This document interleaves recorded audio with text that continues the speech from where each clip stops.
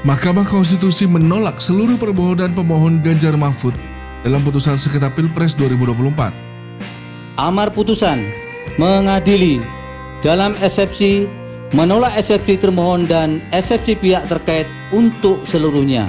Dalam pokok permohonan menolak permohonan pemohon untuk seluruhnya. Ketua Mahkamah Konstitusi Soehartoyo menyampaikan pendapat berbeda atau dissenting opinion tiga hakim MK dalam putusan Anis Imin, yakni Saldi Isra, Eni Nurbaningsi, dan Arif Hidayat, dianggap dibacakan untuk putusan Ganjar Mahfud. Soehartoyo beralasan, pokok permohonan dan pembuktian kedua pihak saling melengkapi dalam permohonan sengketa Pilpres 2024.